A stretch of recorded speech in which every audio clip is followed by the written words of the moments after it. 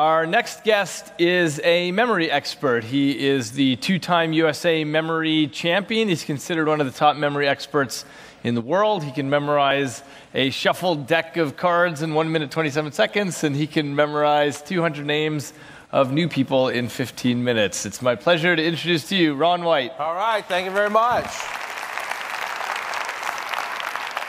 That was a, that was a good introduction from memory, wasn't it? Uh, my name's Ron White. I'm excited to be here. I'm happy to be here. Let me ask you this question How many of you in this room think that you have a bad memory? Who thinks you got a bad memory? Oh no, I got my work cut out for me, don't I? You do not have a bad memory. Your me- memory is a million times better than you think it is. 20 years ago, I was 18 years old, and I, and I, and I went. I heard about a memory class, and I took the memory class not because I thought one day I was going to be standing up on this stage, or or I would be on the National Geographic Channel, or a two-time USA memory champion. I would have never have believed that. At the age of 20, or excuse me, at the age of 18, 20 years ago, I took a memory seminar simply, Stephen, because I felt like you. Somebody said, Do you have a bad memory? And I said, Oh my God, you wouldn't have no freaking clue. I got a 0.9 GPA at the University of North Texas right now. it's true story. And thank you for the support on that. I appreciate that. Feel a lot of love here. Got kicked out of college, actually, and uh, got suspended from college because my grades were just so horribly bad. Now, my problem was not that I didn't have a memory class. My problem was I wasn't going to class. and uh, significantly inf- affected my grades. A c- couple years ago, the University of North Texas called me, and uh, they said, uh, we hear you're an alumni of the University of North Texas. We, and I said, well, kinda. And I said, Do you have access to GPAs? And they were like, No. And they said, We want to do a story on you. And I said, Well, then let's do the story. so we did the story. We talked about my time at North Texas, which, which uh, I had to be very creative on. and uh, my dad is an alumni of there. And about three months later, they mail it out, and he gets the, the, the magazine in the mail, and he calls me up. What kind of scam are you running? I'm like, Dad, they called me. 20 years ago, you never would have convinced me or my family that I had some special memory ability that, that, you don't have. Today, I will have to work hard, hard, hard to convince you that my memory is not any better than you because the things that I do with my memory today appear to be above average, and some people call them superhuman, and that's why I'm on the show Superhumans on the History Channel. If I met you, Go ahead and stand up if I met you. Oh my God. Uh, forget it. I don't want to do this. Let's talk about leadership today. No. This is what we're going to do. If I did not meet you, do not stand up. This is not beat up the memory guy time, all right? Uh, when, when, whenever I put, put your hands over your name tags and whenever I call off your name, have a seat. So, Jenny, you can go ahead and have a seat. Amy, you can have a seat. I believe it's Alvin right here. You can go ahead and have a seat. And I believe this is David and uh, this is Shelby and Gary. Go ahead and have a seat. And Melina, uh, go ahead and have a seat. And I believe this is David right here. And you are Wendy. And this is Sam. And this is Francesca. And you are Donna. And that's Paul, Paul right there. And, and this is uh, Denise. And uh, you are uh, Emily. And that is uh, uh, Carrie, and that is uh, Kimberly right there, although you didn't stand up. We met. I'm very forgettable, I know. And this is Matthew, and this is Todd over here. We got Emma right here, and you are Jeremy. And then I believe right here I am looking at Rick and Janice, who sit next to me at lunch. And that, that right back there is Katie, and that is Sarah right there. And this is uh, Stephanie and Stephen and Cindy right here. And then over here we have Sarah, and you are Larry, and that's Russ, who's sitting down, but I still know you, and Max. And then you are Heike and Jessica and uh, Maria and Di- Diane and Veronica. You moved on me, didn't me, from the front to the back, but it didn't work. Meredith, go ahead and have a seat. Kate, you go ahead and have a seat. Louise, you can go ahead and have a seat. I believe this is Alan right here, and, uh, and uh, Aaron, and then right here we have Bob, and I believe this is this is uh, Robin, you and you are Rhonda, and Wooch and Kelly, and this is Beverly right here, and you are Elaine, and this is Bob, and I believe that is Michael right there. Is that correct? And this is John over here. Doug, go ahead and have a seat. Catherine, have a seat. Judy, have a seat. Jeff, go ahead and have a seat. I believe that is Lucille right there. BB King, Lucille. You know what I'm saying? Um, let's see, uh, is, uh, what, I called you Scott, but what is, is that, okay, that's right. All right, well, well My job is hard enough, Scott, okay? And then over here we've got uh, over here we've got Nancy right here, and this is Sherry right here, and you are John, and you are Bodine, and this is uh, Cecile, Cecilia, Cecilia, Cecilia. Cecily. Cecily, all right, and this is uh, Scott right here, and uh, are you Joan? Is that right? Okay, and then uh, and then this is uh, okay. This is this is Hannah right? And this is, uh, you are Jake, and this is uh, Dr. Stephen LePen, and this is Debbie, and then over here are you Cody, all right? And then uh, T- Tori, right? Okay. And Lauren, what are you trying? Y'all, y'all did that on purpose. These are best friends. They switching around, so I wouldn't notice that. And then, uh, and then oh, let's let's come over here. We have uh, we've got Adil and we've got Russ, and you are Patty Dale, and that is Carol right there, and that is uh, uh Louise and Lenora, is that right? And Cheryl over there, and you are Sheila, and that is Suzanne. And then uh, right here, this is, you are, are you, are you Margaret? Is that right? And then oh, I'm going to come down this way, Larlene, and then still heading this way, we've got, uh, we've got Mark right here, and you are Mary Nell, and that is Malcolm right there. And then uh, over there, that's Lori over there, and I believe that is Rochelle. My eyes are getting so bad, but that's Sarah over here. And uh, let's see, how much time do I got left? All right, I'm still doing pretty good, okay. Uh, I cannot. That's, that's Josette right there. All right. And uh, is that Kyle right there? All right. And uh, then we'll come over here. You know what happened, ladies? You know what happened with you two? I was so stunned by your beauty. Just locked my whole memory up. But I'm going to go ahead and say that you are Gloria and you are Janet. And I'm going to stop right there for the purposes of time. Is that pretty good? All right. With a little bit more time and a little bit more thinking, I would have got all of you. But here's the good news. Not only with a little bit more time, and would, would have Ron White gotten all of you, with a little bit more time, Shelby, you would have got them all, all right? Uh, uh, uh, Dr. LePen, you would have got them all. Debbie, you would have got them all. The greatest computer, by far, bar none, without question, is you. Let me ask you this question How many of you have ever shaken somebody's hand and two seconds later you can't remember their name? All right. Of us need two hands up on that, right?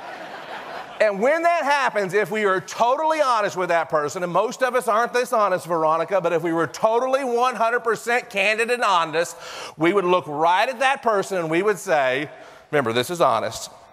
Hey, uh, you, you remember a few minutes ago when we were introduced? I wasn't even listening to you. That's the honest approach. The more common method that I saw today here at this seminar was this Oh, let me see your name tag, or, uh, or do you have a business card? Or the sneakiest of all, you know, I just want to spell your name properly. and what do they say? B O B, there you go. Oh, I didn't know if it had three B's or two, that's why I was asking. Now, my name's Ron White. Both of those are pretty easy to spell, right? A few years ago, I was on a phone call with a woman, and, uh, and by the way, all y'all who heard Ron White was going to be the speaker, and you were all excited running here to hear tater salad. I apologize, all right? A few years ago, I was on a phone call with a woman, and my name's Ron White, very easy to spell. At the end of the phone call, she said, Sir, I want to get the correct spelling of your name. Could you spell it properly for me? And I'm like thinking, Are you kidding me? So I was in a playful mood, so I said, Ma'am, don't worry about the spelling. It's spelled exactly. That's right. I thought it was funny too. She didn't think it was so funny. There was a pause on the other end of the line, and she said, Well, would you mind sounding it out for me, please? Here's the point in business and in, in, education, in anywhere, you shake somebody's hand and you do business with them, whether it's a $10 deal or a $10 million deal, and you see them six months later at a baseball game and you don't remember their name, you have just told them people don't care how much they know until they first know how much you care. You've just told them you're just a, you're just a customer to them. You're not, you don't really care. It's not necessarily the message that's true, but it's the messages they get. Dale Carnegie says that everybody's favorite subject is what? There are five steps to do this. Write, this, write these five steps down because you already told me y'all's memories stink. Number one is focus. Number two is file. Number three is a picture. Number four is glue. And number five is review. What are these again? Number one, focus, file, picture, glue, review. Number one, focus. Good nutrition and exercise will help your focus. Spinach and blueberries will help your focus. Um, I, I, went on Google and I Googled uh, blueberry concentrate and I, and I mix it in there, and that way I don't have to eat 100 blueberries a day. Uh, omega 3 fish oil pills are good for your memory. Here is another tip. If you get only, and I hope you get five tips from my talk, but if you only get one tip, focus in on what I'm about to say because this is so simple. You're remem- not remembering a name most of the time because you're not focused. Develop this one habit, and you're going to be amazed at how much your retention for name increases. As you are walking towards somebody that you do not know, ask yourself the question What is their name? What is their name? What is their name? What is their name? What is their Now, do not say that out loud. Okay? You're, you're saying, what is their name? What is their name? What is their name? I say, hi, my name is Ron. He says his name is Sam. Am I listening? Boom. Yes. Focus is the first key to your memory. What's the number two key to your memory? File. File is simply a place or a location to store information. This is how most of your brains are working right now. You meet somebody and they say their name is Steve. That name goes in your ear and it goes in the floor of your memory. Then you meet Karen. That name goes in your ear and it goes on the floor of your memory. And then you meet Bob. That information goes in your ear and goes in the floor of your memory. And then you see all these fantastic, awesome speakers. Are these not awesome speakers that we've had today, right? You've got pages and pages of notes, and all that information is going in your ear and it's going on the floor of your memory. And then it's, and it's, oh my God, this is so much great information. And uh, it goes in the floor of your memory. Your bank account number goes in the floor of your memory, right? then you meet Steve. Then you meet Lisa. Then you meet Karen. And then you meet Bob. And then six weeks later, you're at the grocery store and you see Kyle again. He says, Ron, how you doing, man? Hey, it's so good to see you. And your subconscious mind is going, oh my God. Oh my God. No, that's not it. That's not it. That's not it. No, no, no. No, that's not it. No, that's not it. You're driving home two hours later. What happens? Yeah, your mind goes, ah, look what I found. Was the name up there the entire time? Yes, but it wasn't in a file. It wasn't in a place where you could put the data. I had files on everybody's faces. Every single one of your faces, I had a file, a place to store your name. So, for Paul, I used your ears. For a friend, something that stood out to me. Francesca, uh, I used your, your, your, your, your forehead. Uh, Sam, I used your eyebrows. Uh, uh, Scott, I used your hair. You got a lot more than me, so I liked it, all right? Elaine, I used how you parted your hair right there. Every single one of you, I used an outstanding feature on your face. That becomes your file. So, in the future, from this point forward, when you meet somebody, as you're walking towards them, what is their name? What is their name? What is their name, right? The second thing you're asking yourself, what stands out to me about that person's face? Is it their hair, their eyes, their nose, their lips, their mouth, their goatee? Whatever it is. The third thing you do, and this takes the most work, and this is what throws everybody off. When I was 18 years old, though, a guy told me to do this, and it changed my life. He said, Ron, for the next two to three months, Every time you meet somebody, turn their first name into a picture. Everybody. When you're at the, the waiter and, and his name tag says Steve, ask yourself what's a picture for that and turn it into a picture. And I did. And I thought, stove. Then I went to the bank and the teller's name was Chris. And I thought, cross. Then the next time I went to a baseball game and the guy taking tickets, it said Morgan. I thought, Organ. And I did that with every name for two months, whether I saw a name on a billboard or a movie screen or a handshake. And at the end of two or three months, I had turned two or three hundred names into pictures. After I, and I, these don't change, they never change. Morgan has been an organ for 20 years, all right? Well, don't laugh because John is whoosh, all right?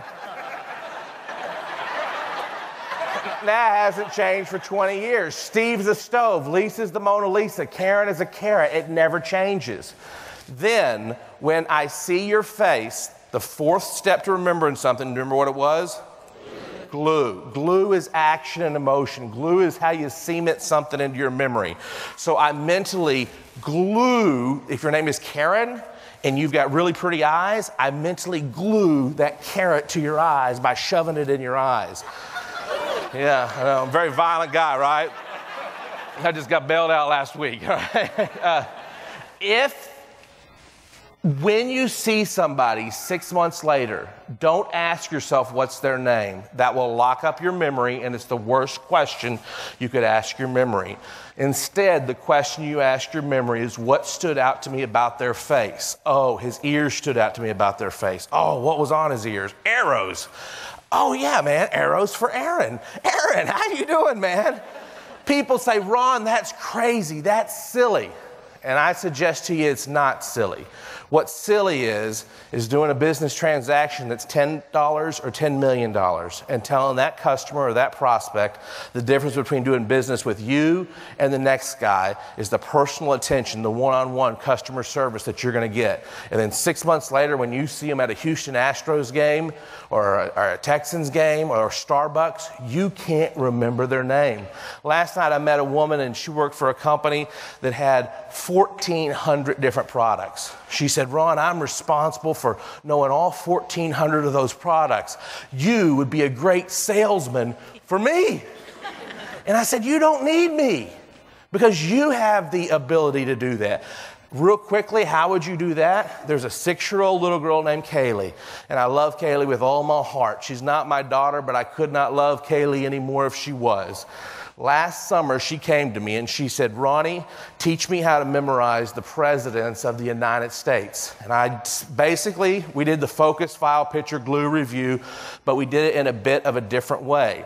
The files are pieces of furniture in her house. This is, this is your homework. Here's your homework. Here's your takeaway. Over the next two or three days, I want you to pick six rooms in your house, and I want you to pick five pieces of furniture in each room and memorize those. For example, I walked Kaylee in her bedroom, and Kaylee said, Number one is the bed, two's the dresser, t- three's the my sister's bed, four's my poster, and five is the closet. I walked Kaylee to the next room, and she numbered five more pieces of furniture in that room. I walked Kaylee to the next room. She numbered five more pieces of furniture in that room. She did that with 44 pieces of furniture because there are 44 presidents. It took her about 30 minutes to do that after we had numbered the furniture, then to remember anything, all you got to do, these become our files, right? The places in the room. Then we take the president's name, we turn it into a picture, and we mentally glue it to the furniture. So our first file was over there, which was her bed. I said, Kaylee, the, the, the information that we want to retain is called Washington. For you, it could be product knowledge. For her, it was a president. I said, What does that sound like to you? She said, It sounds like a washing machine to me. So the file is her bed, washing machine becomes the picture, and the glue is the story we create. We, I got Kaylee over here, and Kaylee's pouring soap, and she's pouring water, and she's spinning it around. File, picture, the action is glue. We did that with 30 pieces of furniture. Whenever we got to Nixon, I asked her what that sounded like, and she said it sounded like mixing. So I said, Kaylee, sit down on the piano and start mixing a bowl. So she did. When I said, What does Carter sound like? She says, That sounds like my cousin. His name is Carter. I said, All right, Carter's climbing in the stove over here. Then Kaylee, a six year old little girl, walked through the house and said all 44 presidents, not with some silly song, George Washington, John Adams, Thomas Jefferson, James Madison. She said them this way George Washington, Adams, Jefferson, Madison, Monroe, Adams, Jackson. And then I stopped her and I talked to her for 10 minutes and I said, pick it up right there. And then she continued to go. And a light bulb went off in my head. I thought, oh my God, if I get this on video, I'm going to make a million dollars. I said, Kaylee, can we do this one more time? But can we film this? And she said, You can film it for a dollar. It is so hot right now on YouTube. Time.com's put it on their website. ESPN.com's put it on their website. Fox and Friends, the number one morning show in America for 10 years, has put it on their show. Why is it powerful? It's powerful because it shows that even a six year old little girl, if she has focused file, picture, glue review, with the files being pieces of furniture in her house, she can memorize information forwards or she can memorize the information backwards. If I worked for a company, I would take that product knowledge and put it on those files. I will conclude with this. Catherine, in the, in the, with the students, y'all create, go ahead and stand up. Y'all created a 38 digit number today, and I have never seen this 38 digit number ever, right? And you gave it to me in about, about 90 seconds. I'm going to repeat this number that I've never seen and that she created. That number should be 522263443427511939 eight. Is that right so far? Five zero one seven two three one four seven seven seven nine three four two five. Correct? What are the five things you need to memorize anything? Number, don't applaud, we don't got the time. Number one, what are the five things? Number one, focus, file, picture, glue, review. One more time. Focus, file, picture, glue, review. I am the world's most diehard Texas Rangers fan. The fact that I am not in the fact that I am not in St. Louis right now is driving my friends crazy. But there is no way in the world I am not wearing my lucky t shirt. Go Texas Rangers, baby!